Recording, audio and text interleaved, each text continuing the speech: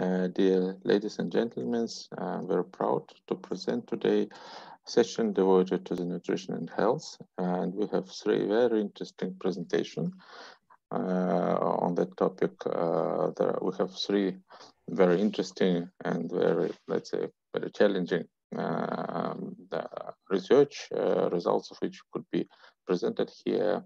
Uh, Damir uh, Esenaliev will be the first. Um, person who will start uh, the floor and uh, working as a postdoctoral researcher at Leibniz Institute of Vegetable and Ornamental Crops. Uh, and at the same time, he is a senior researcher at SDC. He did his PhD in Germany uh, from the University of uh, Humboldt. And uh, he get his master's degree from the Williams College from the United States. and he very, let's say, it's one of the most well-known economists in Central Asia, uh, specifically in Kyrgyzstan. Yes, yes, it's true. Yes, you have uh, a lot of publications and you work on many different topics. And we also very happy that you start to open a new uh, direction of the research uh, devoted to the nutrition and health. And yes, we know that it's uh, because of the projects. There are many projects you involved, and one of the projects you involved gave you an opportunity to work more deeply on that um, area.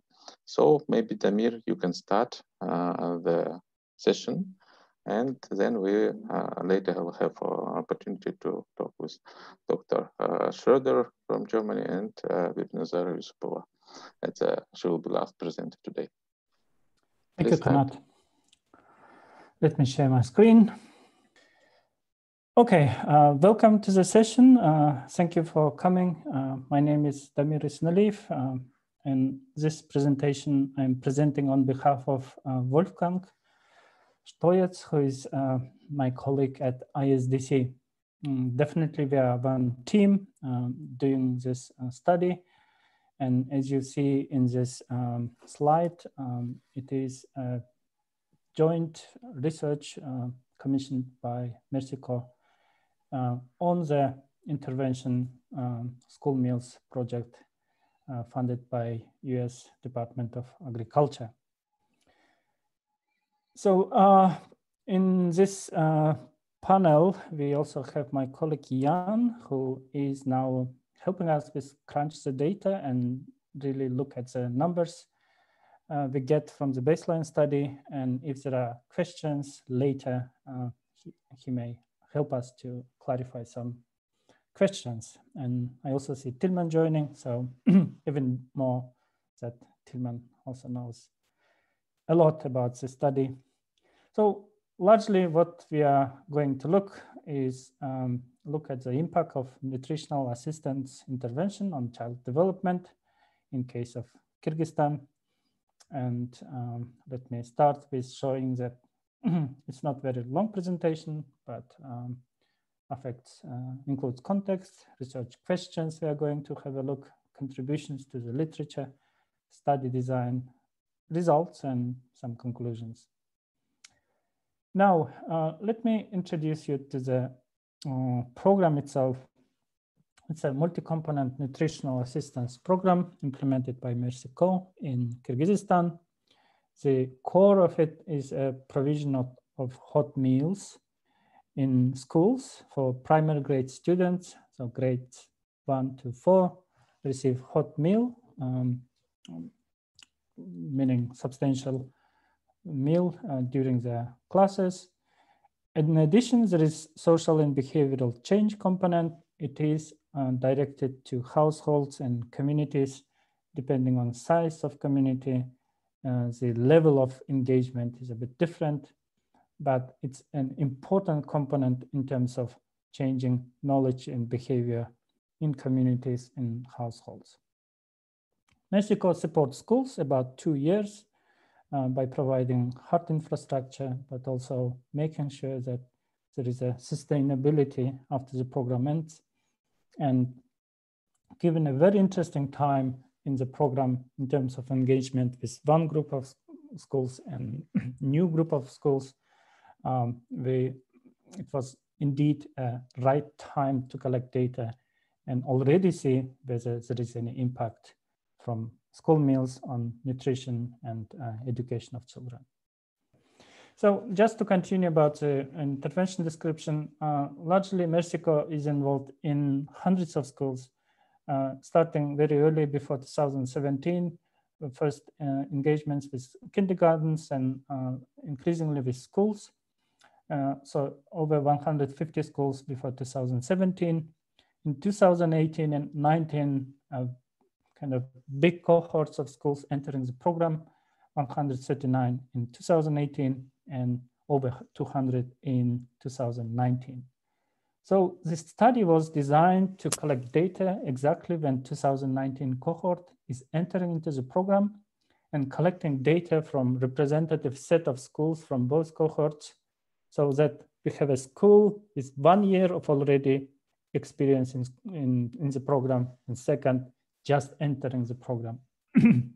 so it's a baseline study um, commissioned by Mercy Corps it's a mixed method. So um, Philip, who is going to talk later, is was involved in very interesting design uh, study. Uh, and what I'm going to present is mostly on quantitative side using baseline data that was collected about a year ago uh, in November till November 2019, January 2020. Uh, with a uh, thought to collect data later in about one year, which uh, unfortunately is under question and because of the coronavirus. So two objectives of why we collected data uh, is uh, to have a very good baseline data so that later we can do impact evaluation that is called to have show us causal impacts of the program. And nevertheless, uh, given the uh, interesting time when the baseline study was conducted, the idea was already have something, some insights comparing more or less treated schools for one year uh, versus those schools who are just entering the program. So the focus of this study is looking at 2019 cohort, meaning if to do baseline and endline data, uh, data collection. Moving on, um, there are three research questions. Um, it's um, no, um, definitely uh, obvious that nutrition is important for all of us and especially for kids who are studying. Um, definitely there is no acute nutrition issues uh, in Kyrgyzstan. So kids uh, eat at home and uh, as well at schools. But definitely inclusion of hot meals programs. Um, I'm apologize if I'm using terms interchangeably. Maybe you know, there are strict kind of definitions, but uh, for me, um, it's easier to explain that it's a hot meal. This is where Mercy Corps comes and um, brings uh, food, which affects nutrition in terms of providing more balanced, uh, healthier nutrition. Uh, from the other side, it definitely affects health and hopefully we can see some effects on education on the um, studying uh, study part. So first research question was, what is the status of nutrition in terms of knowledge and practice in households with primary grade children? Second question is, uh, what is impact of nutrition on child health and education? So if a household uh, parents of children are concerned with healthy food and um, balanced foods and probably it already affects child's performance in school and their health. And lastly, we're looking what is effect of food for education program on nutrition on health and education. So FFE, you will see later a lot, stands for food for education.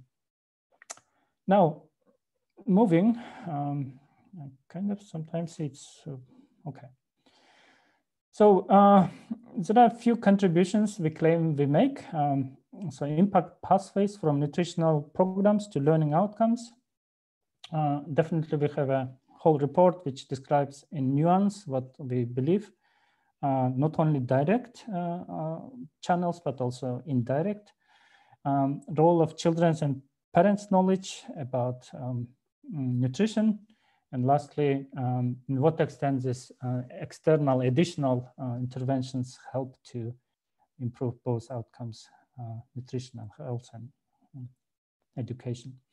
So moving to study design, uh, so it could be a bit confusing, um, but uh, what we're doing in October 2019 is collecting data from uh, two types of schools. Um, one cohort is, we call it 2018 cohort. The second one, the fresh one is 2019 cohort, yeah? And we're collecting data from children who are in grades one and two. So in 2018 cohort, a second grade students, children, already had one year of school, hot meal program in schools. While in 2019, they had no, uh, no such program. So already you uh, see that we can make some comparisons and see possibly effect of one year uh, of intervention. And we collect data from first graders who definitely first time in school and haven't received any hot meal.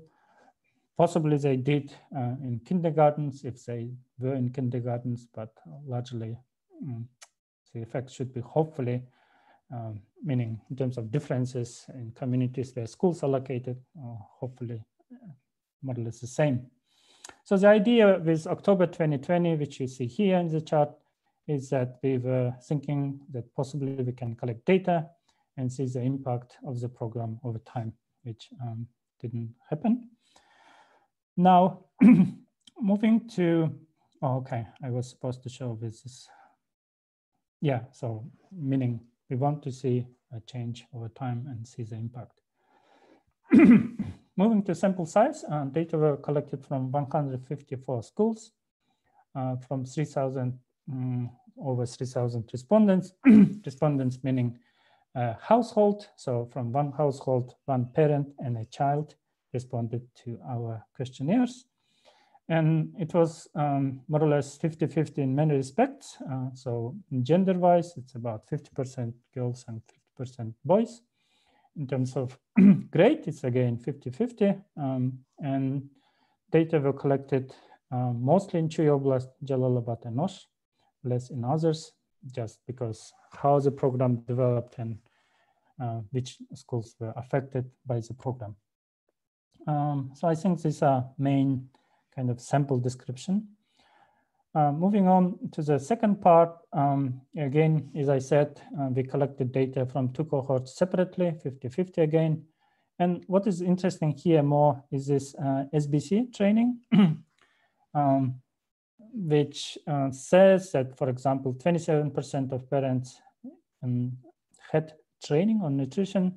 They um, had one point one training on nutrition topics out of five. And they also saw a lot of TV programs on, on these topics on, I mean, of the TV. Okay, um, so this is what we have in, from the data. and results largely suggest um, that many children have fairly good nutrition knowledge and healthy general food preferences but also eat many snacks which are often unhealthy. Um, this is to highlight some of the results. um, oh, excuse me. So first one, these are for charts which show how certain consumption of certain food uh, may correlate with um, some outcomes. So on the X axis, you have a number of vitamin A rich food. And on the Y axis, you have some outcomes. For example, A looks at school absence. So if a child is given its more vitamin A rich food, the less chances that this child is missing school. The same goes for short-term hunger. So it's related as well. positively, the more useful food eaten, the less um, uh, less um, hunger, short-term hunger. and in terms of executive function, which is to um, to do some assignments we did during the survey, also seems to be positively associated and numeracy, more or less mathematical skills also seems to be associated well with. Um, so it's one way of showing what we find in the results, um, just to illustrate what um, is found in the from the data. Now moving to more or less table type of presentation. So uh, we have many outcomes looking at nutrition at child level, nutrition at home, then um, learning. Um, so just to let me highlight what we find that the children who are in um, program in 2018 didn't eat unhealthy snacks. Um, then they know that sweets are not good, not good for health. Uh, they have better dietary diversity at home.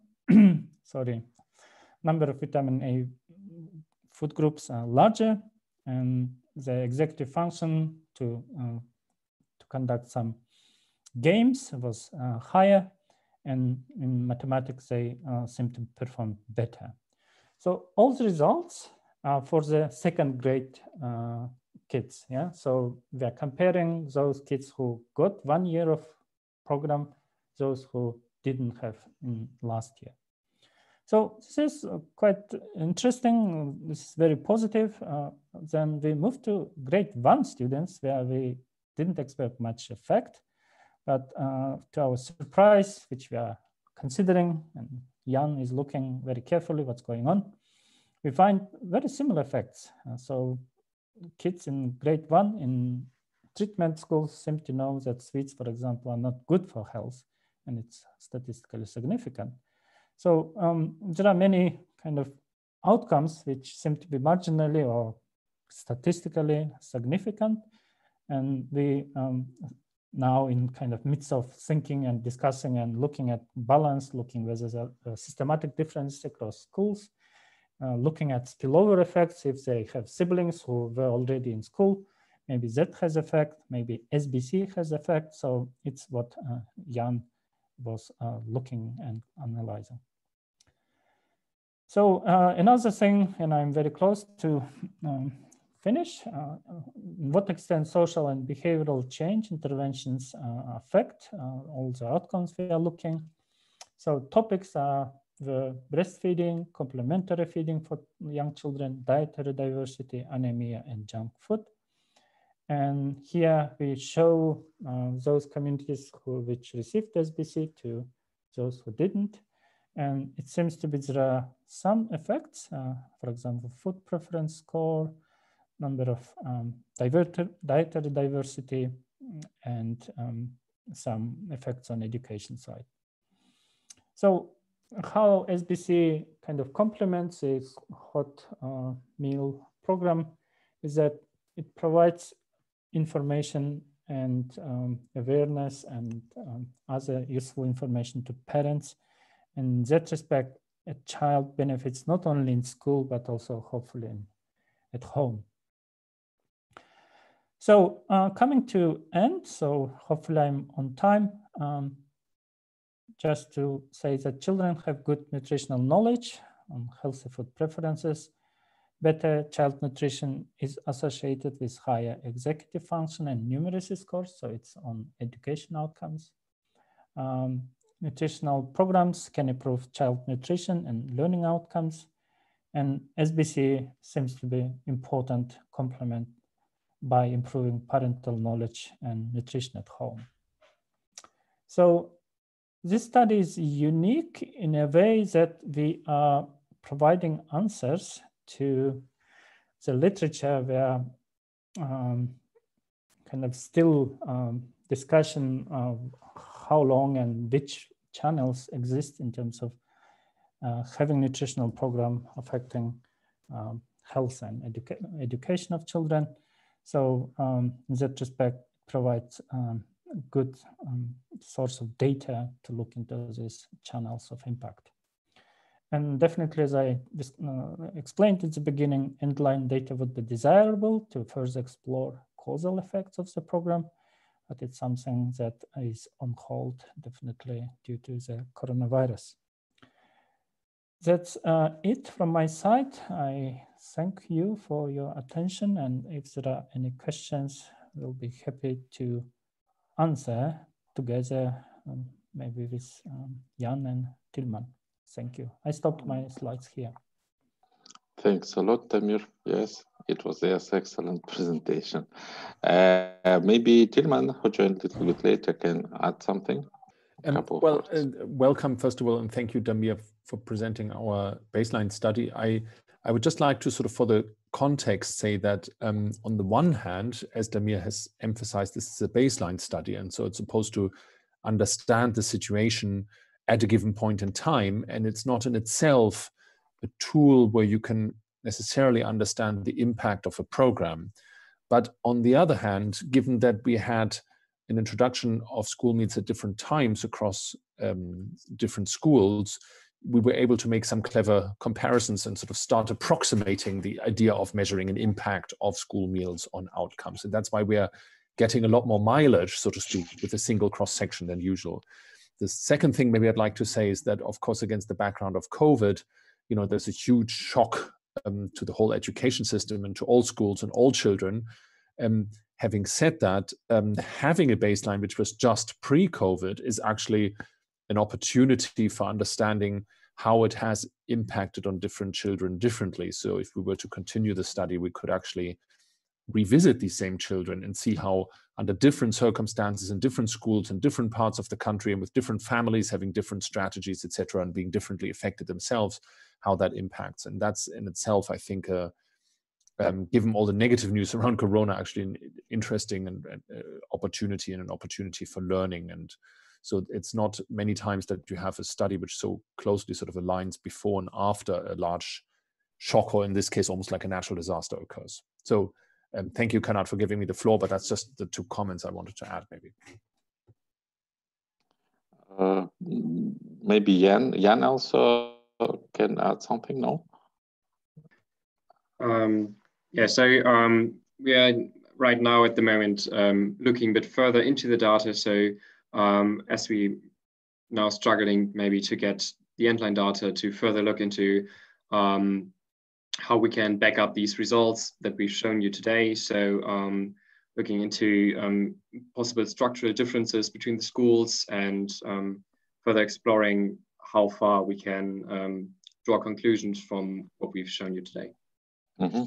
Okay, thanks. Um, I think uh, maybe the participant can raise hands or maybe start just start to asking questions Hi, everyone. Really well done. I appreciate it. Yeah. Um, could I ask you just to elucidate a little bit about what schools are doing during COVID? Um, I'm not really familiar with the situation in Kyrgyzstan and maybe specifically the schools that were included in, in this study.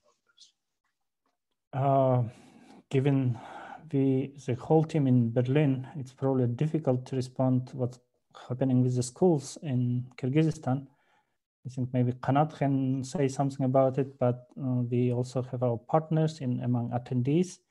Elita, maybe just for case to switch uh, Olga and Uma to the panel, maybe they can shed some lights on what's going on with the schools and with the program. Uh, about about schools, uh, it's a quarantine. Uh, still in schools, but the first grade uh, children start to go to schools from uh, uh September 1st. Uh, so we uh, have a unique situation where only first grade children go to schools peoples for the first year. But the rest still should be stay at home. So we have online education. But as I know from situation from the media and from the reports of the ministry. In some uh, distant areas, uh, mm, in the smaller villages, uh, children start to go to school fully not everywhere. And also, I heard that even in Bishkek, uh, many private schools, uh, which is uh, because they are small in size, they also start to operate on offline regime. So it's a very mixed situation. Uh, and uh, in this, from a springtime, uh, we have the full closure of schools. starting from the March, end of March. I think it was March 18 or 19th when the school stopped to operate in the usual manner. But maybe also colleagues from the Mercy Corps could also could add some information to that. Hi, I'm Uma Kandeleva from Mercy Corps, and thank you very much for excellent presentation, and thank you very much for, for questions. Yes, since March uh, this year, all the schools are um, closed, but um, from September, first graders started attending school classes um, as in normal, sort of normal mm, type of hours, uh, using all the sanitary precautions and uh, we able to provide hot meals to the students who are attending the schools. Basically, um, students who are attending schools are continued getting hot meals at schools. Um, the rest of the students who are staying at home and doing uh, online schooling, they are um, using home meals only. This is situation as of today. Uh, from from yesterday, I believe the first autumn spring, uh, autumn autumn break is introduced in Kyrgyzstan, and hopefully within uh, next 10 days, um, depending on all the epidemiological situation in the country, more students would be able to return back to classes, particularly in the rural areas. This is what we are hearing from the Ministry of Education. Once more students would be returning back to classes, back to schools, um, food commodities already waiting for them at, at schools. Everything is already distributed. Uh, school cooks are trained and hopefully um, any number of students will be able to attend schools, would get continuously hot nutrition, hot meals at schools. That's the situation for today. Thank you. If more questions Thank related you. to program, I'll be ready to answer. Thanks. Yeah. Mm, some more questions from the audience? Oh, yes, Galip Sanaev wants to, yes, he raised his hand. thank you, thank you, Damir, yes. for a very interesting presentation. Mm, basically, I have question about regions. In your sampling, you mentioned that, I mean, distribution of uh, schools across these uh, regions, oblasts of Kyrgyzstan. What was the uh, criteria to choose uh, these regions? I mean, for example, in Chuy, I think there were more uh, schools chosen and also in Jalalabad also 26%, yeah? Was there any more schools or like, what was the criteria? Um, we had to choose from the schools. Corps has a program. Yeah, so we luckily we had big number of schools from 2018 cohort and 2019.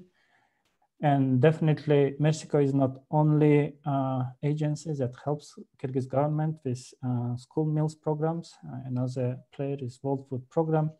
So in that respect, um, definitely we were looking effects of Mercy Corps operation intervention. So in that respect, uh, we had to choose from the sites uh, set of sample of schools where the program was operating. So in that respect, definitely ideally would be good to have like balanced sample across oblast, but this is um, how you adjust to the program, to the intervention and try to uh, make your design of your research uh, valid uh, by selecting more or less equally from both uh, treatment groups, I would say. so that was definitely uh, motivated by the geography of the intervention. Thank you. Okay. Uh, do we have some more questions? Lisa, would you like to use a mic? Um, okay, thank you. Um, yeah, hello to everyone. Um, yeah, I, I think it's amazing. Um, I mean, presentation. Thank you, uh. And I was uh, very much interested in terms of um, you already said that due to COVID, uh, your results of the Endline um, survey could be you know, uh, not that positive at the baseline or in general. So the, the, my question would be, it would be interesting how in general we could, um, you know, integrate impact to take into our models the impact of COVID in terms of control or moderating variables. Uh, what do you think? Uh, do you think there's a there could be a negative effect due to COVID and how we can, you know, the impact of, of COVID or negative impacts or positive uh, somehow integrate into our models and, and what would be the, the expecting results? Thank you. Thank you, Lisa. Uh, I mean, given big if uh, data is collected, definitely huge interest in terms of COVID effects. Um, I think if possible to get information at school level, uh, how kids studied, how much they were out of school, how their food uh, at home and at school uh, were affected, with collecting this additional information to get a sense of depth and character of effect from COVID. Uh, possibly it would be uh, could be done, but again, it's uh, under conditions that uh, next wave of the data is collected, and plus the uh, kind of more you go in terms of time. Um, yeah, I mean, could be many considerations to be taken into account, but um, getting enough data in terms of, as I already said, uh, character and depth and timeline would be important to kind of um, distinguish what the deepness of the COVID effect is on health and education. Tilman, do you have uh, any thoughts on this? No, I think that's fine what you said. Thank you. Mm -hmm. uh, do we have more people? I think we already have some people who moved from data industry panelist. yes. Who else could want to ask questions? Because it's really very, very, very interesting presentation. I also have some, but I want to give floor to the people who, yes, uh, among the audience. Sorry, guys, yes. may I ask one more question, if it's okay? Yes. Quick. okay. Quickly. So quickly. you have uh, you have the schools, you know, uh, with the hot meal, and then uh, uh, the schools who actually provide with a hot meal by Mercy Corps. But we have also other, uh, you know, schools who get hot meals um, actually paid by the parents.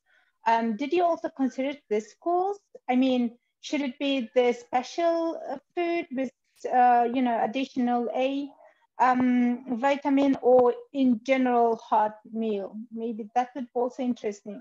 What's your opinion on that, Damir? Thank you.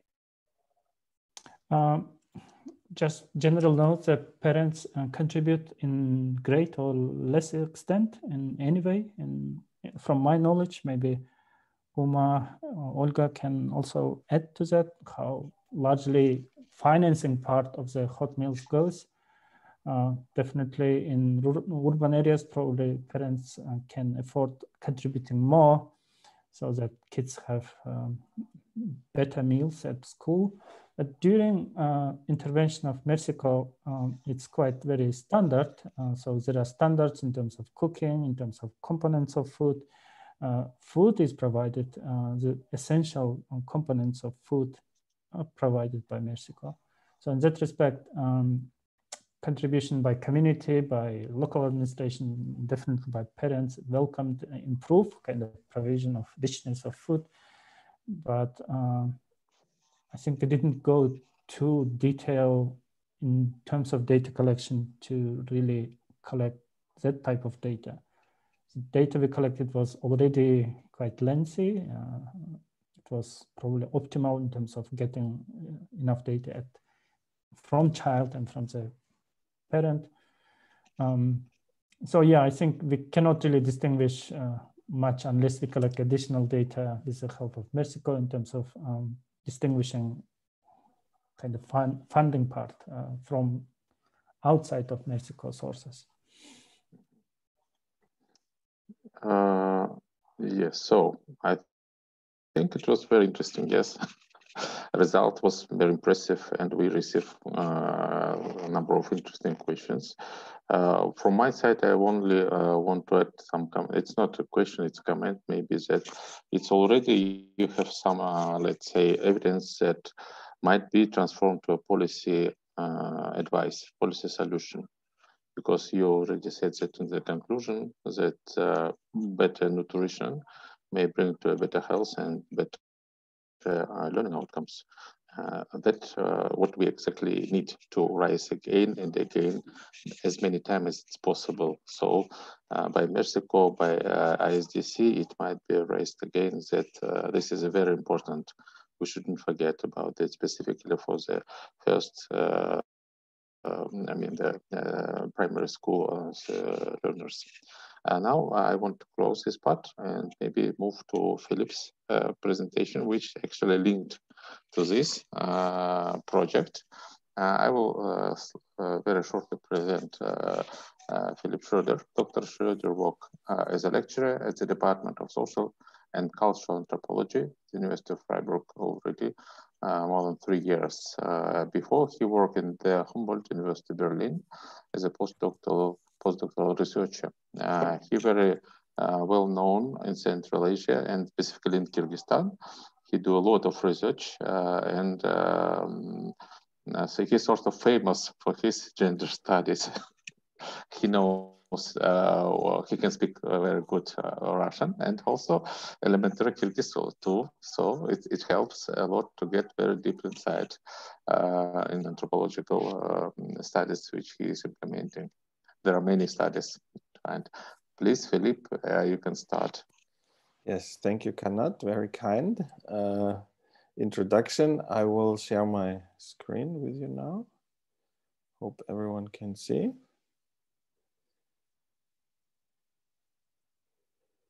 Yes, so um, I will spare you and all of us the time to read out the title because you have read that already probably uh, in the program. Um, to begin with, I can move the slide here.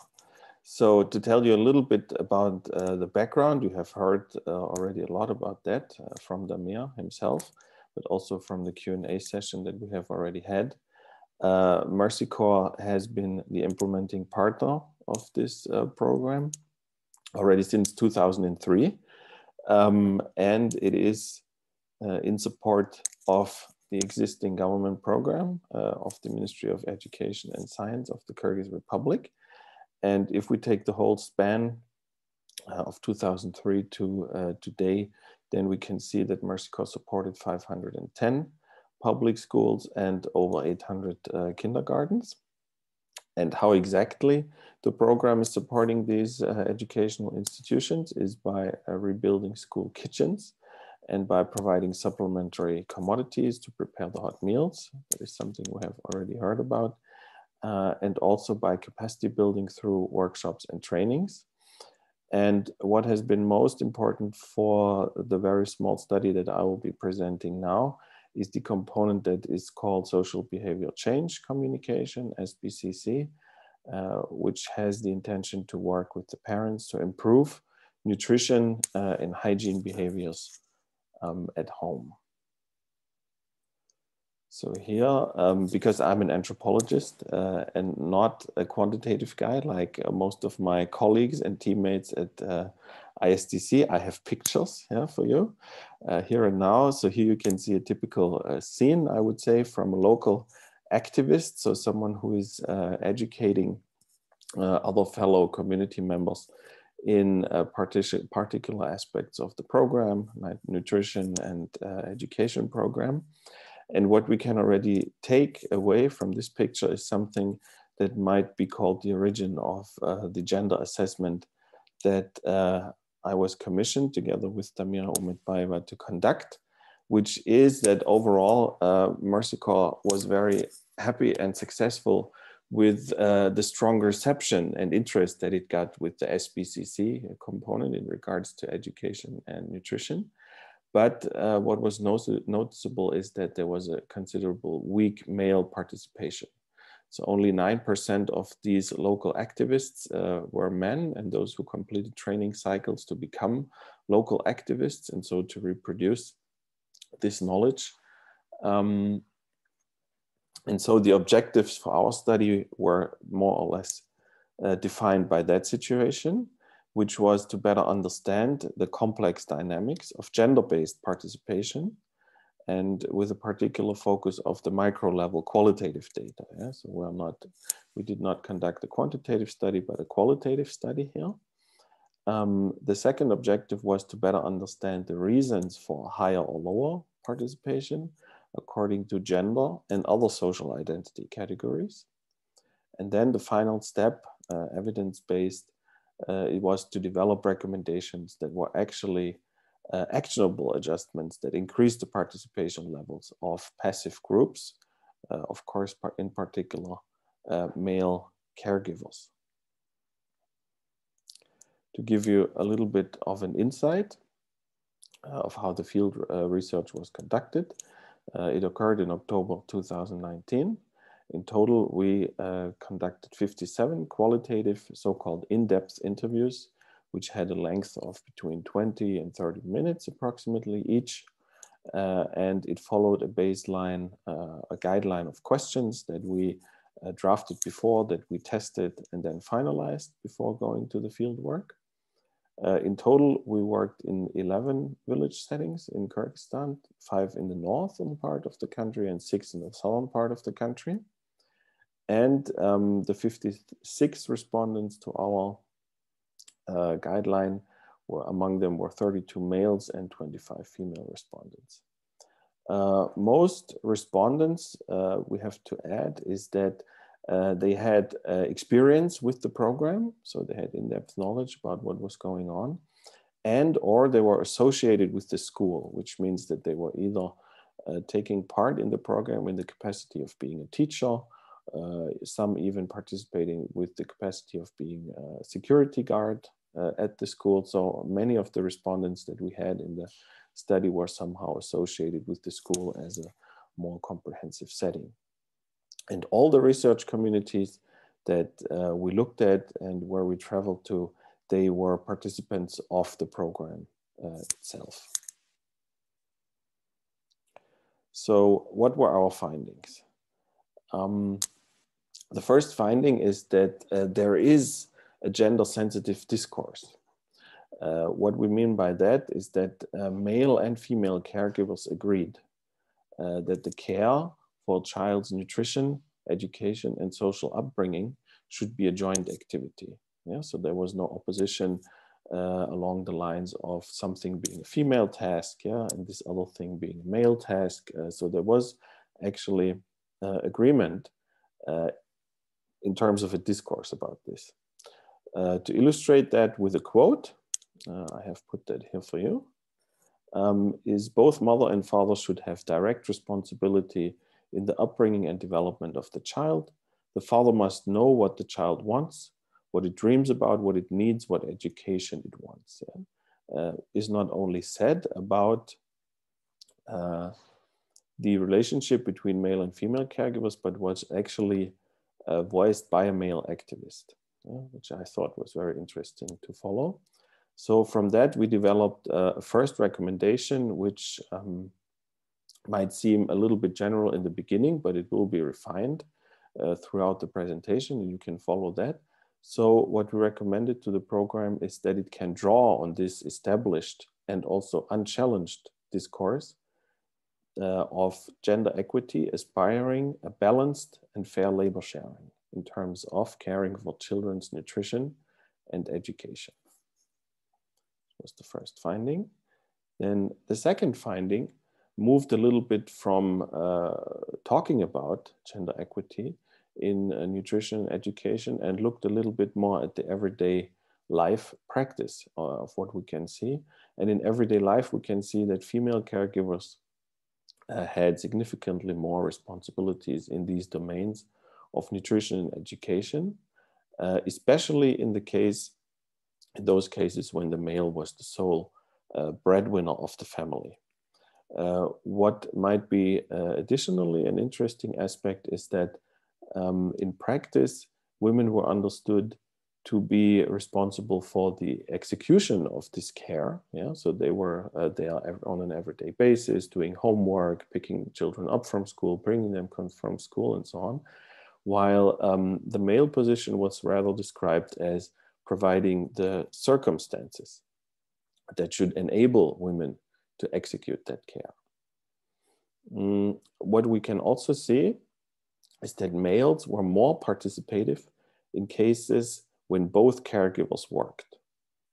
Uh, so if a woman uh, had also contributed to the household income, then the male was in a position of having to contribute a bit more than if that was not the case. But, and this is a refinement of, of this general uh, conclusion, the male involvement in these domains always remained conditional and reactive. So the male understanding of participation was to fill in in case uh, the women were not available, the woman was at work, um, and also uh, conditional in terms of that the female responsibility extended beyond um, the own uh, mother of the children and included also the grandparents. Yeah? So we had cases in which um, male and female participants of the research voiced to us that um, before a man would take over this task, uh, the grandmother would take over the task. Yeah, so in that sense, it is also uh, conditional across or beyond a single generation. Yeah? So the recommendation that we formulated from that was that the program could utilize informal associations that existing that are existing between the household, the school, uh, and the community. So the uh, aspiration would be to convince male caregivers towards more participation, starting from the school and local community institutions. I will speak about which kind of community institutions we can think about here in a minute. Um, but starting from school and community institutions, we could see uh, that also the role of men in these domains of nutrition and education could be increased in the private households. While in contrast, if we separate it and we strictly focus on the private household, it might seem more difficult to activate um, those men towards these uh, tasks and participation in these domains. Uh, the third finding, which uh, to be very open and honest was the most interesting to me, um, is that in all the local communities, we found at least some men who could be considered non-mainstream males or male activists, um, who are locally known as to be different, yeah, Bashkacha, because they had a critical, they were critical of the conservative indifference uh, towards these uh, gender equity practice and in practice, which means that they were against shifting tasks of education and nutrition uh, simply onto women's shoulders and then in, by consequence forget about them afterwards. Um, it was then interesting to follow that such a wider view of these uh, different men was not related to the level of education or the level of the income necessarily, but rather to personal experience uh, that they had made uh, sometime along their life which led them to prioritize their children's future over their personal comfort. And some of these uh, examples were that um, some of the different men had experience in migration to Russia. So uh, they voiced towards us seeing how children are uh, brought up in a more gender equitable way in Russia was uh, an illustrative example for them.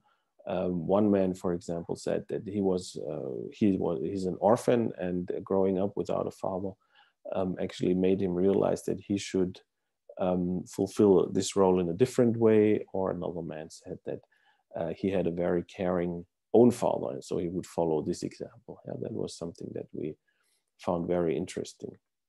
The recommendation that we can draw from this is that the program can promote alternative masculinities to the mainstream one. Uh, how to do that? For example, uh, by employing a narrative approach to build up these non-mainstream male caregivers as graspable role models. Yeah, graspable means in that sense not someone who is uh, distant. Yeah, uh, in the capital. Uh, I don't know someone who is famous for something, but someone who is a neighbor. Yeah, but is a graspable role model of uh, a different, a non-mainstream approach and also to empower these alternative um, masculinities. And the empowerment is, of course, something that is uh, tricky to do, but um, it could be done. That was our uh, understanding. If these um, uh, different men would be endorsed by everyone who is considered to be an authority in a local way. That can be an official representative, that could be a religious leader, that could be a school director. Yeah. So if they were promoted as uh, positive role models by other men who were considered to have local authority. Um, yes, this is another impression of possible uh, different men, so to say. Um, our finding number four was uh, that having no time is a well-known but a powerful pretext to avoid being active as a man in the domains of nutrition uh, and education. So men not having time to do that, uh, we found out was not necessarily an objective measure of time budget, but rather a subjective assessment that assigned more value to male time than to female time. And in particular, if uh, this male time was spent earning a living. Yeah? Uh, this is a hierarchization of time, yeah, in which um, earning uh, time was considered to be more valuable than time that was spent in the household. Um, interestingly then, uh, that's why the conclusion was that it's a well-known pretext, is that 21 out of 44 respondents who uh, answered to that question in our interviews uh, clearly identified that um, not being interested was the real reason why men would not participate in these domains. Um, and at the same time, despite that this is a known pretext, uh, employing it uh, actually was found to have few consequences, which means like everyone knows it's an excuse, but using it would not change anything. Yeah? And uh, this is also visible by the fact that uh, when we ask respondents what could be done about this, uh, if it's such a well-known excuse, then uh, there was a big difficulty to imagine what could be a feasible workaround yeah, or means of addressing this. So uh, the recommendation that we concluded from there was to deconstruct the no time pretext, yeah, because actually it lacks moral justification. Yeah, there is no cultural or religious um, resource that could be pointing to it being okay that men are not having time to care for the education and nutrition of their children. And um, uh, comprehensive also to deconstructing this it is to highlight the duty that everything should be done for the sake of the children, which is a very uh, widespread notion yeah, in Kyrgyzstan as elsewhere. Um, another recommendation that is related to time was that uh, program activities could adjust to the seasonal variation of male time budgets, which, uh, for example, say that men are more free during the winters than during the summers, because of the agricultural cycles or also because of international labor migration uh, patterns. Then uh, moving towards a little bit the, the conclusions was uh, what are the ways to increase male caregivers involvement? So uh, one recommendation that we had was to empower the intimate social surrounding of male caregivers, yeah, which is to strengthen the voices of children and females and wives, yeah, uh, as social actors. And that was something that we found very strongly in the interviews that uh, a situation in which a child is asking for the support of a father, for example, doing homework, it will be different, uh, difficult for him to reject this. This is a little bit behind that.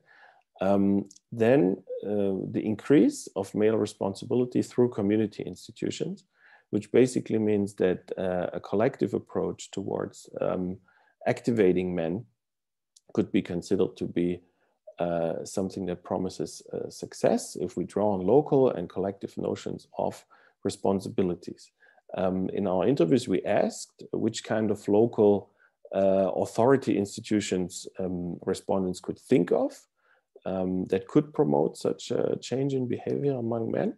And um, these were the imam, so um, the, the local Muslim cleric, uh, self-administration representatives, local elders or village heads, but also people who are uh, successful in the economic or the political sphere, so businessmen or people who are deputies in the local or national parliament even.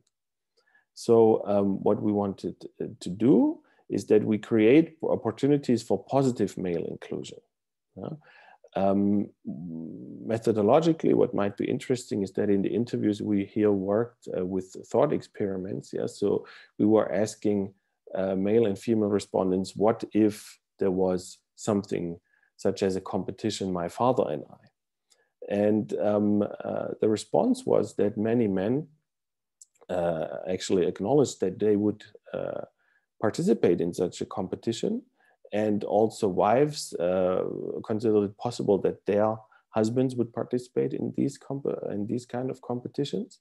And also 44 uh, percent of respondents believed that male caregivers would uh, attend a training that would be labeled good father yeah, which would be something uh, along the lines of what i said before that it involves community institutions from the school to um, also the household and uh, other aspects. And then uh, final slide, general conclusions is that um, we would, re we recommended actually that men uh, would be enabled to take steps out of their patriarchal comfort zones and that they can be, so to say, empowered to experience a positive fatherhood. That is also something that we found in the voices of those uh, who I labeled the different men, yeah, who actually said, well, once I dared to get involved more deeply with my child in terms of uh, nutrition and education, I had a very positive and uh, empowering experience with it. Yeah. Um, the next thing uh, that could be done is to strengthen the notion of a parental piety that is complementing the notion of a filial piety. The filial piety might be uh, something that is well known. Uh, for example, saying children should respect um, their parents. Yeah? The question then is, and that leads me to the next point, is um, programs should uh, achieve a balance between showing respect and showing responsibility, which are the guiding principles underlying social and other exchanges. Yeah? To explain that a little bit is um, there could be the understanding that respect is earned by, be, by showing responsibility and not respect is automatically given or is expected to be automatically given just because someone is senior, senior to someone else. Yeah? That was kind of the, the thought behind that recommendation.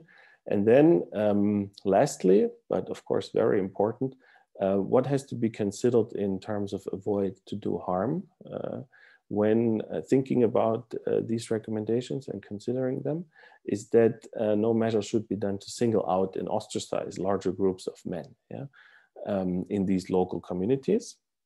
Uh, the second one is that, of course, uh, no, a program should not disregard the secularity principle. Yeah, uh, if you think about the fact that the imam was considered to be a local authority figure, we should not uh, forget that there is a separation between private religious representation and the public domain of school education. And uh, the third one, which I think is also very uh, important, is that a program should not unduly challenge the role of female caregivers. Uh, because especially if they are housewives, uh, we should not underestimate the thought that their contribution might be considered by themselves to be the key contribution of what they give to the family. And so there might be actually tendencies also we should explore that um, they might protect this domain from too much male involvement. Yeah. And that was it. Thank you. Thanks a lot, Philipp, for this presentation. It was very interesting to look again uh, for, by the anthropologist uh, in an overview of the position of the man and woman in Kyrgyz family, uh, specifically of the distribution of responsibilities uh, and participation of men uh, in the uh, family life. can we, um, let's say, yes, invite people to raise their hands and because it was extremely interesting for me, yes, to hear all your thoughts and very detailed analysis. Please start to ask. And Tilman also in the line. Okay, do you want me to start? Or? Yes, please yeah. start. All right, okay, thank you. Um, thank you, Philipp. Uh, it's really fascinating. And um, I love the sort of slightly conflicting, you know, yes, we're caring together, but sometimes I'm just too busy to help uh, type, uh, you know, um, sounds very realistic. Yeah, that sort of ambiguous finding. Yeah. Um, I suppose um, you answered it in part already, but it's a difference between sort of observing what norms rule and knowing how to change these norms. Do you have any more thoughts on you know how best to change norms and perhaps other other examples of interventions you're aware of in, in similar context which actually try to do so because presumably these norms grew over you know centuries slowly steadily and evolve and you know some norms change incredibly quickly and others are extremely sticky so what's your advice as a social mm. anthropologist for how to change thank you well as, as a social anthropologist, I have to answer, of course, that every local context is different from the other. Yes, there are no global answers in anthropology. Um, but uh, giving an answer maybe for the Kyrgyz context is that um, is that we of course should develop these changes from what is already existing. Yeah, that's what I tried to point out in the in the last slide. Yeah, showing respect and showing responsibility are very established notions yeah, in the local community and how we can create maybe a tipping point is if we balance two things. Yeah, the one thing is that usually there is the aspiration that, especially in, in rural communities, uh, social harmony yeah, should be maintained yeah, in Tamak, yeah, in, Kyrgyz. Yeah? So that's why I said it's very important also not to ostracize yeah, a group of men and saying you're the culprits, yeah, you should change and so on.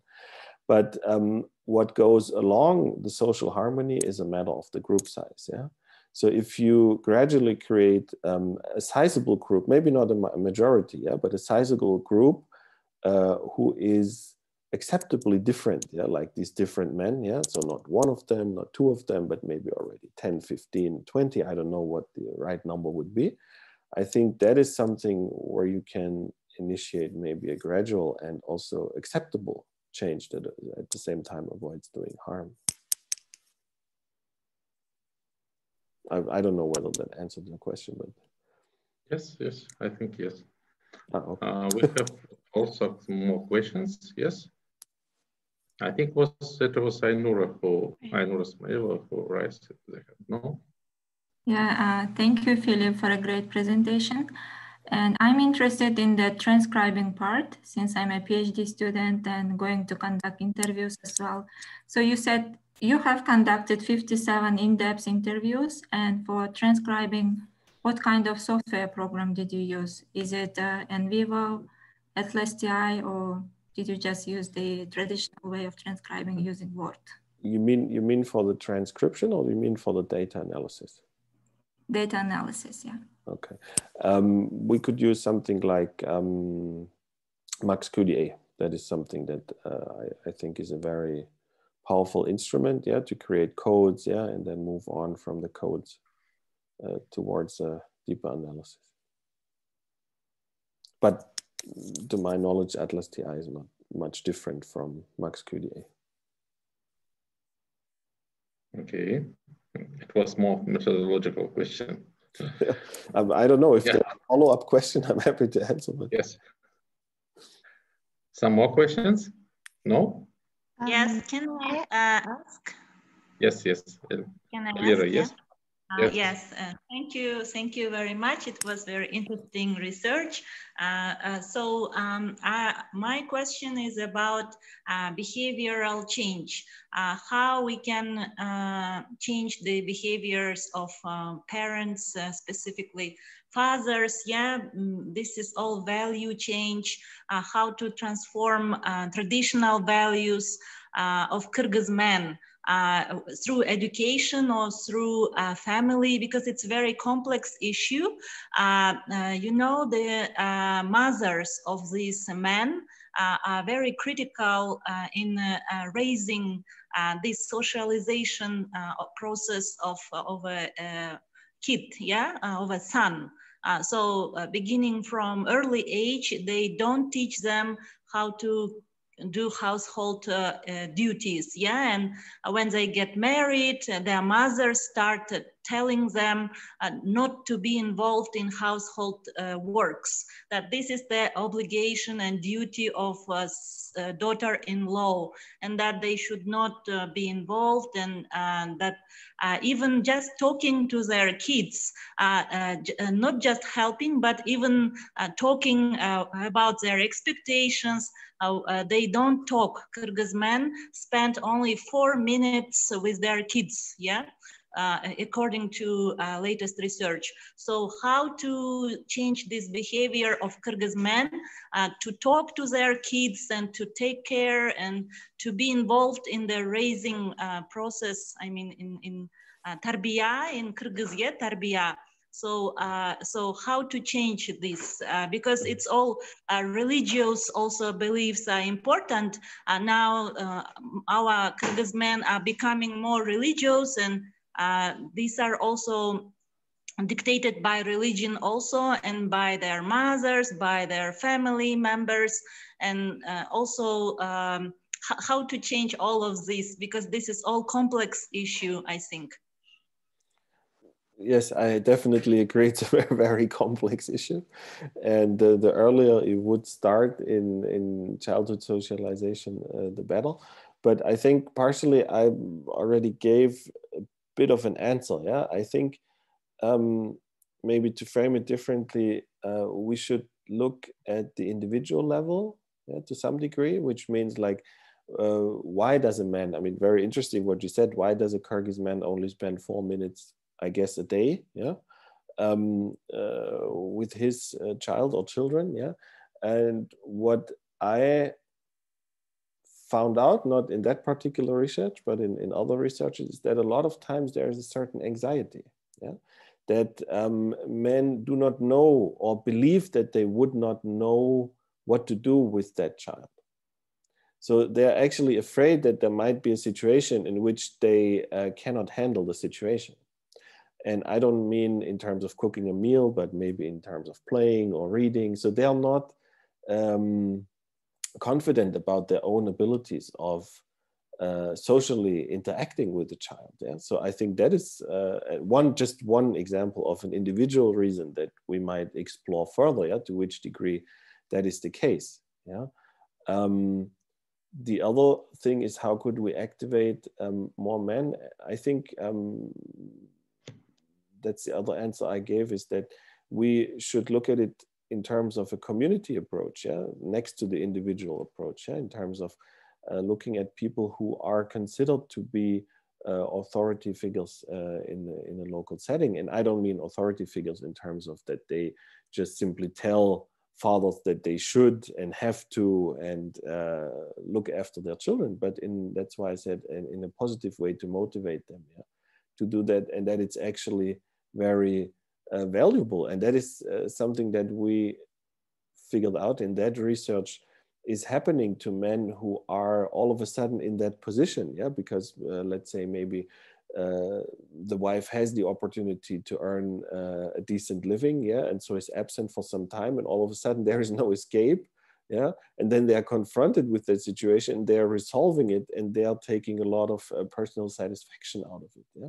We should i think really promote these kind of um, examples and that's uh, what i meant with also graspable examples yeah? Not someone who is a i don't know uh, maybe a movie or music star somewhere in the distant capital yeah? But someone who is uh, really a neighbor yeah?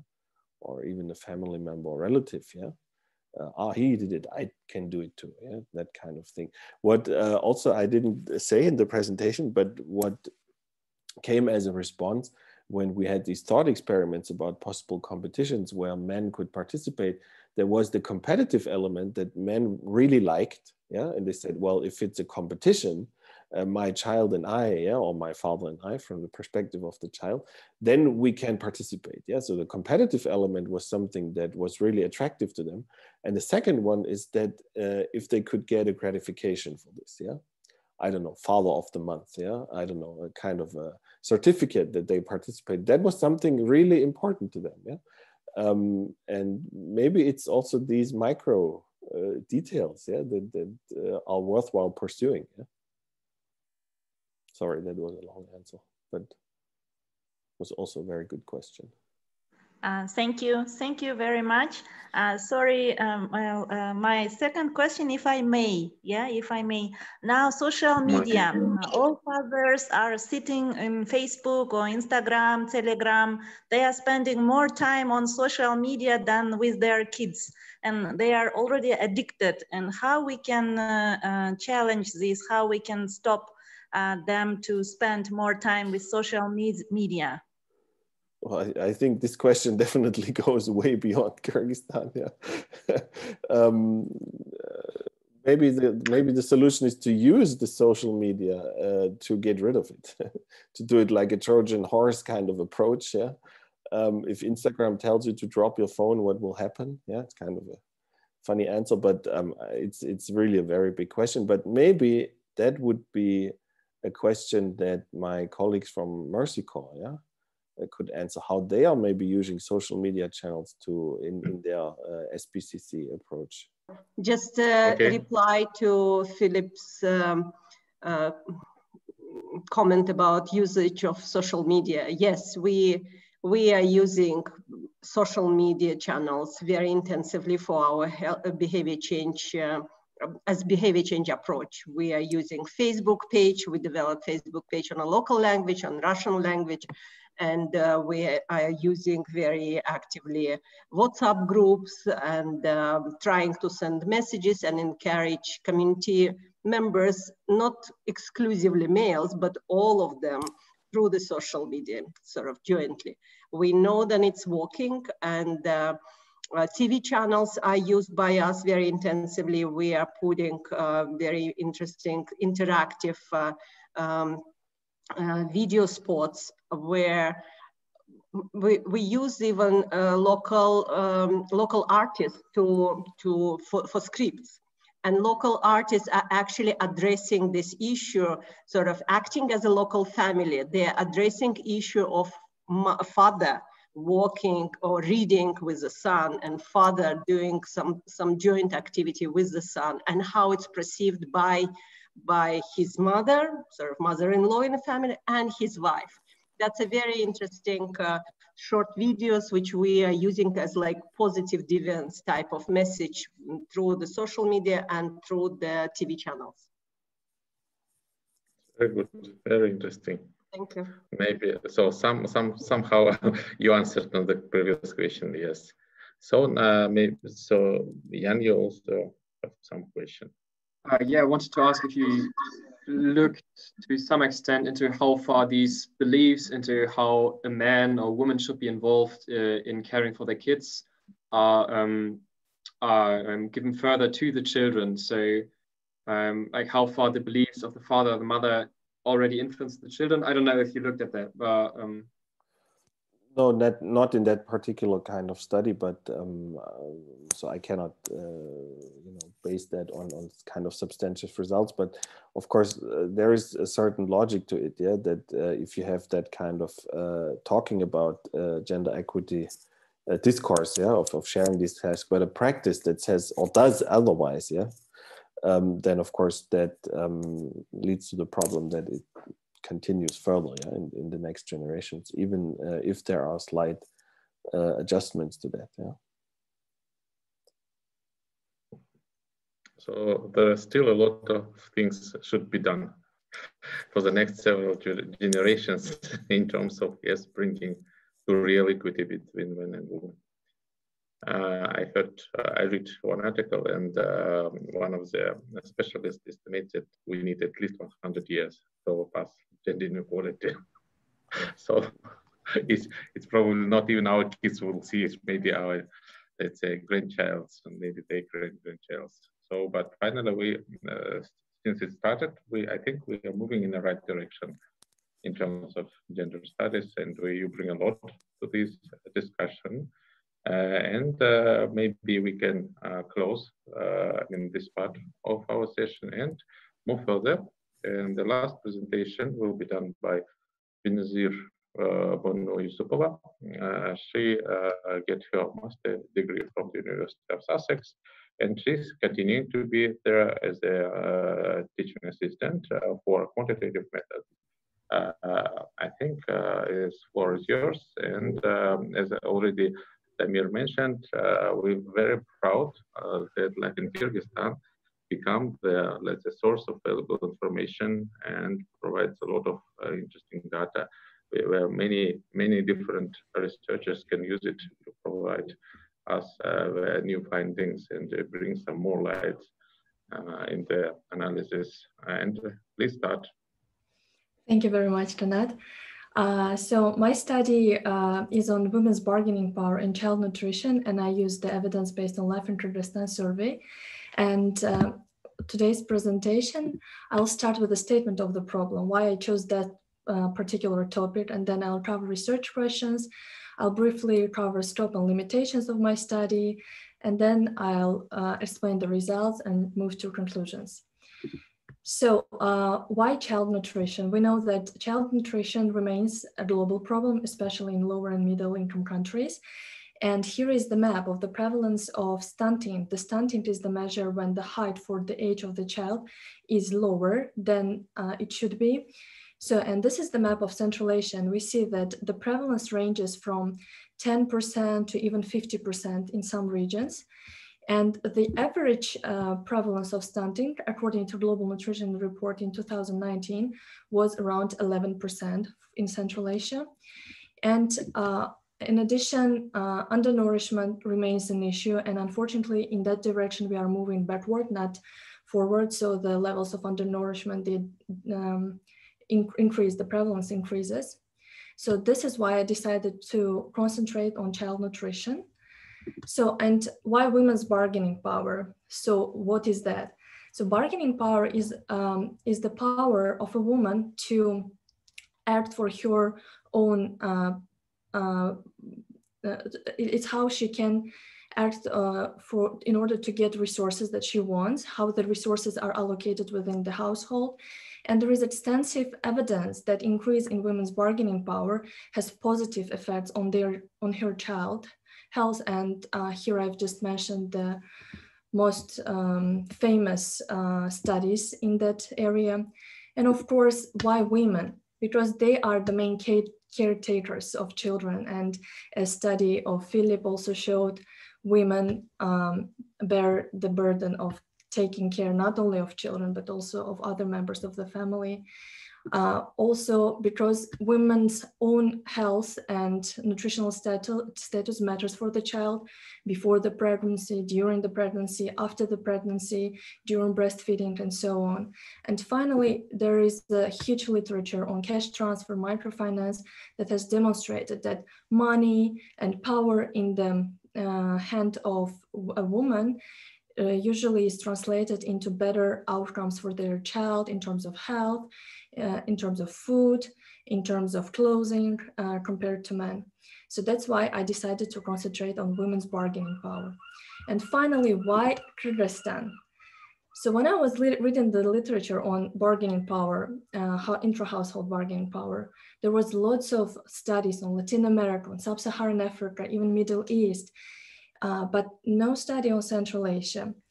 And um, according to the latest DHS, which was done in 2012 in Kyrgyzstan, uh, the figures for uh, nutritional status of children are not very positive. Around 18% uh, of children under five are stunted, 3% are wasted, and three are underweight. And also there is other emergent problem of overweight.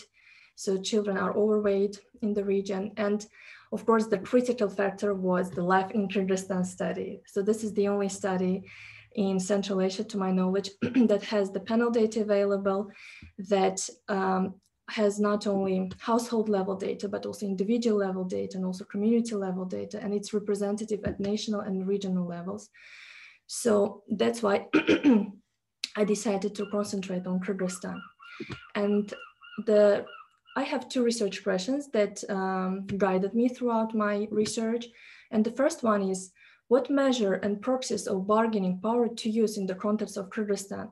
Because every context is unique. We can learn something from Latin America, we can learn something from Sub-Saharan Africa, but still the context of Kyrgyzstan with the Soviet legacy, with, uh, with the transition economy. So the measures, the proxies could, should, could be different. So what are they was my first question. And the second question was about the association, whether there is association between mother's bargaining power and her child's long-term nutritional status. And I measured mother's bargaining power using the decision-making index and her position in the household and the long-term nutritional status measured as height for age z score. And I'm going to talk about these variables later in detail. So, and um, why this study, why I decided to study this question. So what was my objective? First, of course, is to understand context-specific uh, factors of intra-household bargaining in Kyrgyzstan. For example, in some contexts, the bargaining happens between a husband and a wife, but in some uh, cases, especially in Middle Eastern contexts, the bargaining involves more people because uh, the culture is characterized by extended household, extended family units. So the bargaining might happen not only between the husband and the wife, but also between parents-in-law and other members of the family. And also too, the, the certain objective is a bit ambiguous, given also that my study is just a correlation study, not the causal relationship study. But still, I wanted to inform future program designs and evaluations um, that aimed at increasing uh, bargaining power of women in, in Kyrgyzstan. Uh, so uh, what I, if, if, um, if I find a positive association between women's power and child nutrition, then it would mean that the policies should, uh, such as microfinance project, would be very effective. But my finding, I found negative association. So I found that women's bargaining power and child nutrition are negatively correlated. And it means that the policies should point at change in social norms. So it's exactly, I think, what Philipp was uh, talking about, about the social behavior change programs. So I think Kyrgyzstan is already implementing those. And um, uh, my findings suggest that these are the most effective ones. So, and let's briefly talk about the scope and limitations.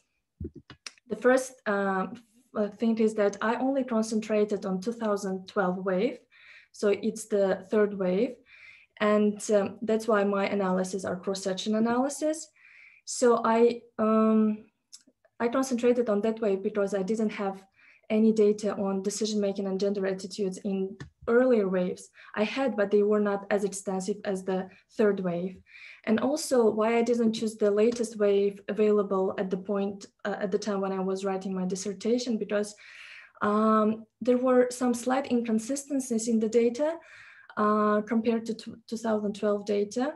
So uh, education um, uh, variables were slightly uh, different. And also it was, uh, the study was conducted under the consortium of a different institution. So I decided to play it safe.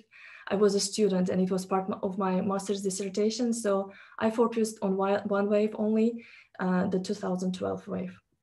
And uh, I focused on households who have children aged 0 to 12 years old, whose anthropometric measures, the age, the weight, the height were measured, and whose mother was present and whose mother has answered uh, decision-making questions. So, and I just want to say that my findings, once again, are mere associations, not causal relationships. And also, unfortunately, not all daughters-in-law and mothers-in-law were I could, could I could identify them because uh, head of the household, if they weren't the parents-in-law, then it would be difficult for me to identify whether daughters-in-law in that particular uh, household were present. And also, I didn't take into account of macro level factors, some conflicts, revolutions, and so on. So, and I also, I think this is a limitation of the study that, uh, that strong in terms of bargaining power because I couldn't take into account of assets brought to marriage, which the literature says is a strong uh, determinant of bargaining power, and also uh, like like selling price. There there were some uh, th there was some data, but it wasn't enough to make analysis based on it. So, and my empirical study is a simple OLS where, where I used robust standard errors because, and I clustered the standard errors at the household level because I could have um, mothers and children from one household and they could have the same characteristics which were unobservable and they could be correlated. So that's why I took account of that. And this is my specification. So my Um, dependent variable is the height for age z score. And I also um, controlled for child characteristics, mother and father characteristics, also household characteristics and community characteristics. And BP here is my main bargaining power measure. I use different proxies and I'm gonna talk about it later. Uh, CH are the child and uh, health, um, uh, sorry, household characteristics. M and F are mother and father characteristics, community and oblast characteristics, like rural and urban, different oblasts. Um, and also my sample size, the final sample size uh, is uh, 2,000 uh, uh, 806 observations. So that's my final uh, sample size. So and now let's uh, talk about my key dependent variable, y height for age z score. Um, and what is that? This is the measure, measure of stunting. Uh, it's a long-term measure and it shows whether the person, the child has a long-term deficiency, health deficiency uh, as a result of poor nutrition. And uh, the reference data, since these are the standardized stored, they are standardized based on some reference and reference data I take from uh, WHO child growth charts. So the literature that I read, most papers use this reference, um, this reference data.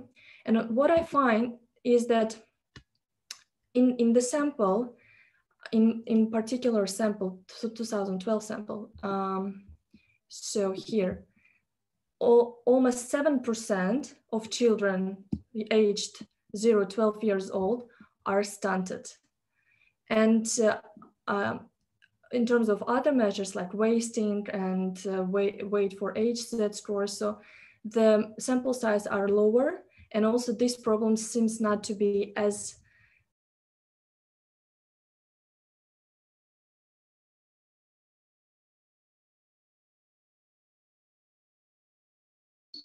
Uh, I think I stopped to hear you. Binazir Bonu, please unmute your microphone. Yeah, I'm sorry. I think I had some something. Okay, okay. Sorry. Please continue. Yeah. So let me go back to my presentation. So now, yeah, so that's why I decided to concentrate on height for age that score as a dependent variable and key independent variables. So what measures of bargaining power are there? Uh, and I'm uh, relying on Cheryl Doss, which is a big figure in intra-household bargaining power. So she suggests that income and employment is a good proxy for bargaining power of a mother, asset ownership, human capital, like education. So these are uh, conventional, commonly used bargaining power measures, and I'm using them as well. But there is also decision making and attitudes.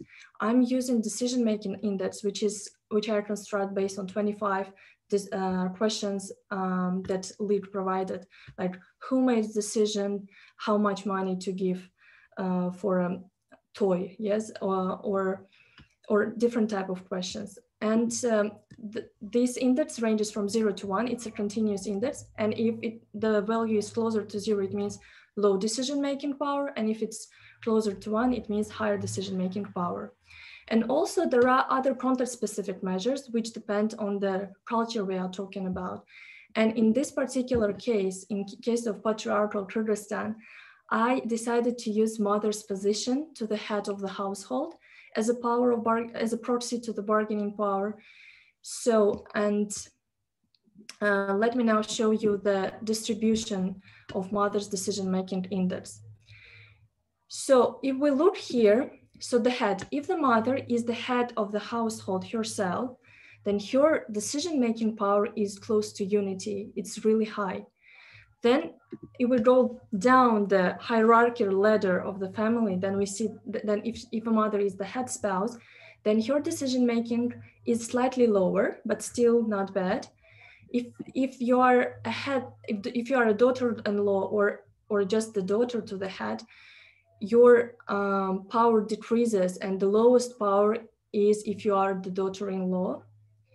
So, and what I also, um, what we can also see here is that uh, the decision-making of mothers whose child is stunted is slightly lower here than if your child is not stunted, but the difference is not very big, but, but still it's lower. So, and then I decided to look particularly not at the, uh, the general uh, combined decision-making index, but only at one question which specifically asked who made decisions about the child, uh, who is the main decision maker, who has the main decision-making authority for child's well-being. And what we can see here is that if you are a daughter-in-law, you are likely to answer parents-in-law. So it means that it is the parents-in-law who made decisions on, on behalf of your child. But if you are a head yourself um, or a head spouse, then it's likely that you yourself made decisions or your spouse makes decisions or you do it together with your husband. And um, um, what, what it shows, it shows that structural hierarchies indeed do matter. And uh, it's really crucial to take into account these hierarchical structures, gender and age-based um, uh, hierarchies in the context of Kyrgyzstan. So that's why, that's my uh, motivation why I added mother's position in the household as a proxy to bargaining power. So, and my results are the following. So I, I added different types of proxies for bargaining power. Some were significant determinants and some turned out as insignificant determinants of child's health. So what are the insignificant determinants? And it was really strange. For example, mother's lost monthly income. It turned out as insignificant, but the sign was positive, but it was insignificant. Uh, and also mother's income as a contribution to the household monthly income was positive but insignificant and mother's employment dummy. So if she worked, then it, it was insignificant, but the sign was negative. It means that if she worked, uh, her child's um, health status was lower if she didn't work. So, and what were the significant determinants of child long-term nutritional status? Mother's position in the household turned out to be statistically significant. And also the head of household being female. And this um, variable was um, really stable across all specifications uh, and very significant and always positive. What I found that children in female-headed households were on average healthier than in male-headed households. And also mother's level of education was statistically significant. So compared to illiterate, like being illiterate, compared to having secondary education, decreased the uh, standard deviation by 1.4, so it reduced the like the health. But on the other hand, having university degree uh, compared to having secondary education decreases has by the height for age set scored by 0.46 standard deviations in urban sample. So but my urban sample was really small, small like 30% of respondents who were from urban areas. And uh, maybe it means that if a mother has university degree, she's more likely to work. She has more outside options. So rather than sitting at home and looking after her child, she she's usually maybe working. So maybe that's why that's one probable explanation. And mother's decision-making index. Why it's in the middle? Because in some specific, in, in some cases it was statistically significant determinant of child health. In some, it was insignificant. So in rural some sample, I found that decision making is statistically significant determinant, but it's negative. So it means the higher your decision making power, the lower the child's health. Um, and in urban some, sum sample, um, decision making power was positive but it was statistically insignificant. So it was really strange. And uh, um, I'm gonna explain you one pos I'm gonna like share with you one possible explanation for this um, strange signs um, that we got here. So, and here in that table are my like final results. And here uh, are the results for my mother's position categorical variable, where the reference group is the largest group when a mother was head spouse. So we see that being a daughter and um, being a daughter-in-law is like detrimental for your child. So, um, and it reduces your child's height for age Z score by 0.74 standard deviations uh, for daughters and uh, for daughters-in-law by 0.44 standard deviations. And also uh, decision-making index here when I add it alone without accounting for mother's position is statistically insignificant, but once I add uh, this very once I add uh, once I account for uh, mother's position in the household, then it becomes statistically significant at 10%. So, um, so what we learned. So what are the conclusions? My conclusion is that vertical extended familial units are more rigidly patriarchal in the context of Kyrgyzstan, and that in that sense, Kyrgyzstan is more similar to Middle Eastern countries than uh, like sub-Saharan Africa or Latin American countries. And neither uh, income nor education are as important as mother's position um, for her child's health. But one possible explanation is that lower degree of bargaining power might discourage mothers. So they don't, they just conform to these patriarchal norms and they just give up. They say, they know like, I'm just the daughter. And if you are like a daughter and living with your parents it mean, and you have a child, it means that you are either divorced or maybe other reason. And if you are a daughter-in-law living with your parents-in-law, you know that there is no point to argue. You just better do something, uh, you just better conform to what your parents-in-law say, and you don't really uh, show your agency. But, but we should be really dangerous with claiming um, such things because more qualitative evidence is needed. And of course, panel data, more dynamic analysis would shed more light. So, and finally, like, although these are just correlation analysis, but it's still important because this is the topic that is widely um, studied uh, throughout the world, the, the, world, and we should be more willing to accept correlation analysis uh, in, in that um, for that topic. And I think, to my knowledge, I might uh, mistaken, but I think this is the first study to uncover the relationship between bargaining power of a mother and child health in the context of Central Asia, in particular in Kyrgyzstan, or maybe it's just my limited knowledge. Yes, and thank you very much. Uh, that's, yeah. If you have any questions, I'm more than happy to answer. Thank you. Thanks a lot. Uh, I think, yes, floor is open to the questions. Uh, please raise your hands. And I think the Nazir Banu will be happy to answer. Um, Hello. I can start.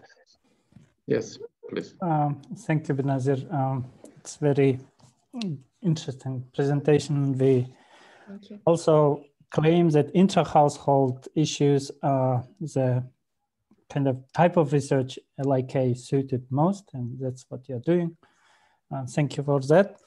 A um, couple of uh, comments, what you think about it. So your index of uh, decision-making power includes mm -hmm. the questions in that table. Um, did you consider some questions not being too much in the scope of deciding by women? I don't know. Um, I cannot think things like agricultural activity or something like what to grow, what not to grow. Definitely, um, some people have more say to certain things than others, but uh, taking everything what is there, maybe assigning zero to women who by functions more or less say uh, has uh, very little to say and need, doesn't need to say you're kind of putting low weight on the decision making index of a woman in that respect. So your thoughts would be appreciated. From the other side, taking children of age 0 to 12, I'm more concerned about children who are a bit older. So we are kind of associating their health status with uh, what was kind of decision-making power of child when they were younger So I assume young age is very important for this health uh. So in that respect, definitely decision-making power changes over time. It changes uh, depending on household structure and any other decisions. But definitely, I believe uh, women decision-making power, maybe on surface, is um, could be looking weak, but definitely it's strong and it gets stronger over time, in my view. So, how would you kind of deal with this issue that maybe her decision-making power was weaker, it's now stronger, and you are now using the stronger information now to kind of relate that what happened like 10 years ago. Yeah, uh, thank you so much for your comments. Uh, uh, in terms of decision making index, yes, I was also like, there were so many questions and some were not directly related to child's health but um, I, I separately uh, made the index based on only relevant questions to child health, like child health, child name, and other ones. But they turned out to be statistically insignificant. And I think that when we consider all questions, they help us to capture the real power. Like, I mean, the, the real um, bargaining that the woman has. So uh, in of course in one area it might be stronger than in other but uh, in in my specification when i used the decision making based on all questions was stronger but i i, I tried to look separately like based on only ch- ch- child health questions but it turned out to be not really um, statistically significance. so that that's one thing. And in terms of the um, 0 to 12 years old yes. Or in most papers, they use zero to five years old um, group sample, but since this is the long-term nutritional status, like uh, the height for age Z score, and the WHO also provided the measures for uh, up to 15 years old. So, and also in order to make my sample a bit bigger. So this is the reason why I chose this range.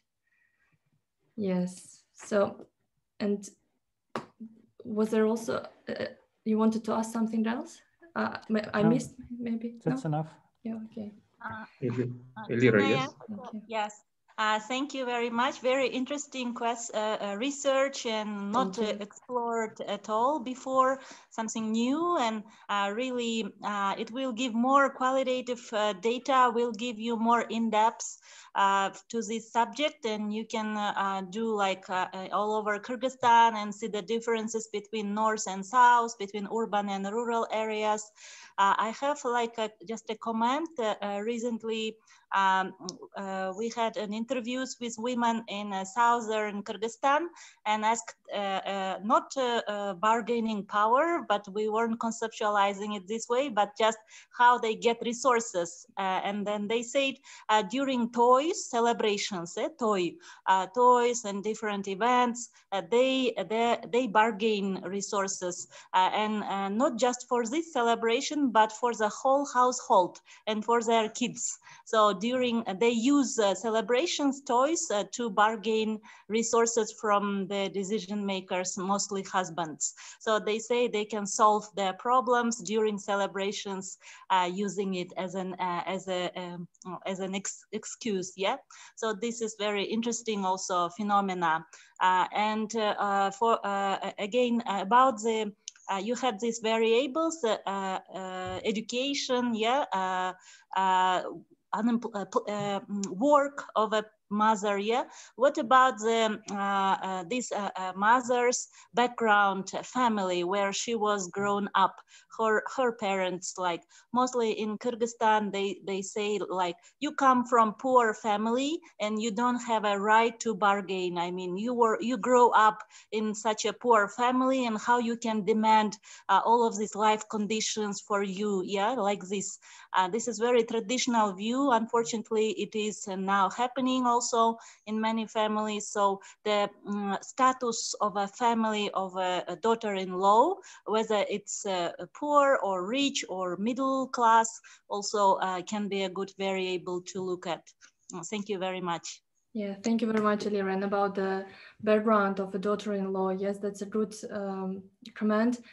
Uh, usually the, in the literature, I think uh, scholars use assets brought to marriage, but I couldn't find information. And I think there were some questions about how much kalym did you pay and so on, but um, but only a few answered the question and um, preferably like perfectly it would be great to find to, to, to, to know how what exactly in terms of assets uh, um, a daughter-in-law brought to the marriage. So it, it, it will be like a proxy for her, um, uh, what do you call the family that she comes from, the, the, the social status, the financial status of the family could be proxied by this measure.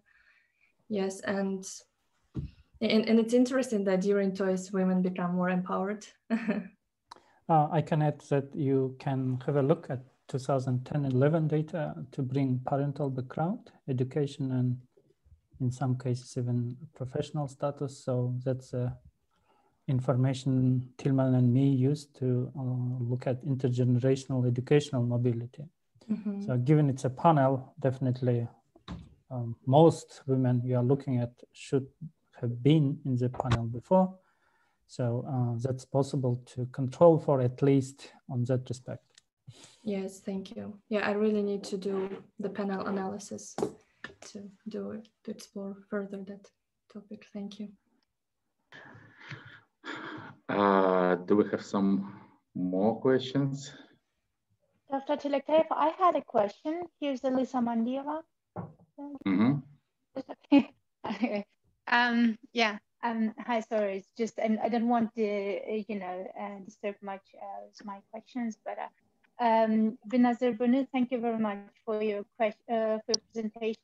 It's, I mean, it's very interesting for me also to see now being new mother, you know, to see how is actually uh, the, the, nutrition and the mother's role in the family uh, plays a role. Um, so um, I was also partly last year working with uh, LiK data, and um, you know, um, it's, it's very interesting, but sometimes you have to look a little around where you can get the, the right um, variables. So I had a question about to control variables. So earlier I already asked you what's about the social status of the family or of the of the uh, mother-in-law or daughter-in-law and so on. Um, in this regard, have you used any control variables? Which ones? And if you also try to work with the moderating variables, because this could also explain uh, for example, why education and employment of the mother uh, doesn't have any effect, or, if the affects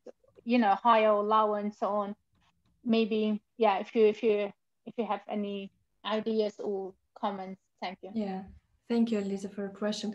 Uh, could I just clarify what you mean moderation variables? Because I think it's the first time when I hear this type of variables. Moderation?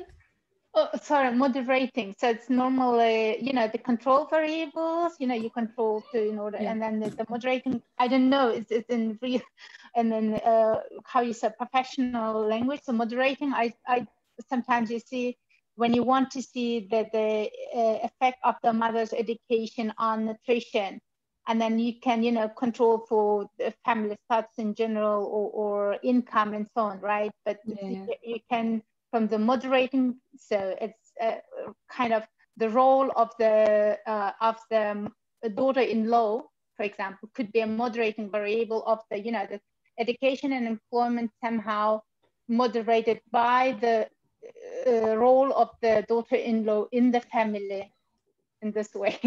Sorry, okay, maybe uh, Damir, I don't know, in, in professional language, how you call the moderating variable, um, intervening? I mean, it depends how you see the mechanism of change. Uh, yeah, I mechanism. think we tend to just call them control variables. I mean, yeah. definitely certain things cannot be neighbors, uh, so you have to remove some. So in that case, maybe exactly applicable that you may not apply something to for your outcome variable that highly correlational. So you have to bring something else. So that in that respect, so you cannot model wages by putting employment status, but rather you have to bring education because education moderates employment and through that effect you, but we tend to kind of test like uh, collinearity. So make sure that model is logical. And in that case, maybe that's uh, how we kind of our language, at least in economists, uh, operates. Yeah. So Yeah, we tend to thank you. call them just control. Yeah. Control Yeah. Okay, I got it. Yeah, thank you very much. So yeah, I had many controls and I also didn't want to overload my specification. That's why I would I had to be very selective in terms of what controls I choose. I in all specifications are controlled for child characteristics like child's age, child's uh, gender, the birth order, uh, and also in terms of household characteristics, the asset level, the household level, asset level, and the consumption, like a proxy for permanent income, and uh, also father-mother characteristics, um, father's education, father's ethnicity uh, and mother's ethnicity, and also rural, urban, and also oblast dummies I always had because, and by the way, oblast dummies were statistically significant. In Issyk-Kul, the the I don't know why, but the stunting was the highest. The prevalence of stunting was the highest. Yeah, and also in terms of ethnicity, some ethnicities uh, like the Ta- Tajik, if you're Tajik or Uyghur, but I think it's due to maybe the sample is really small. Maybe that's why the, it was statistically significant. So I controlled for a range of other variables to account for household level characteristics, um, mm, community level characteristics and uh, parents characteristics. Y- yes, but what I played with is with the bargaining power measure. So I added like, I tried income, I tried then uh, like education, I tried your uh, employment status and I, because they are very highly correlated because they um, like the underlying distribution is very similar. So that's why I maybe you had the perception that I only looked at these variables and didn't add other controls. Yeah, Okay. thank you. Yes. Uh, sorry, can I ask uh, uh, one more question, uh, if I may? Yeah. Uh, uh, have you looked at uh, information sources of uh, uh, uh, mothers, uh, which information sources they use?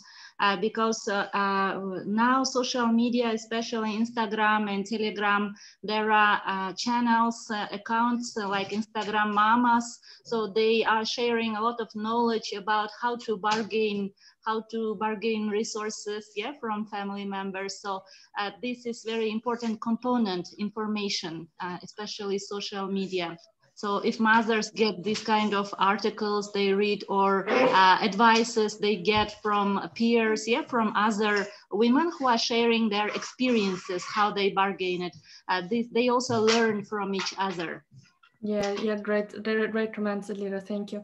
Um, yeah, actually, I really want to do a PhD, and uh, what, my, one of the research studies is that to look at social networks. Uh, so how not only the social networks in terms of the uh, IT social networks, but also social networks, the peer effects, the neighbors, their communication, how this affects the bargaining power. So that's definitely the area for future research. Yes. Uh, thanks a lot, Binazir Bonu. Uh, it was a very interesting, impressive presentation. Was very happy to hear, uh, and I think uh, we need to close this session. Uh, thanks a lot, and my congratulations to all participants, and all, uh, thanks a lot for all questions which was raised today. Um, what I want to say at the end uh, that uh, um, definitely we want to see reports, articles uh, from your side, and and I think uh, we can, um, uh, you know, uh, we'll be happy to citation, increase your citation, and to really enjoy uh, the reports and articles you produce. Thanks a lot uh, for today, and uh, tomorrow is the last day of our conference, and uh, I hope to see you again uh, on the sessions for tomorrow.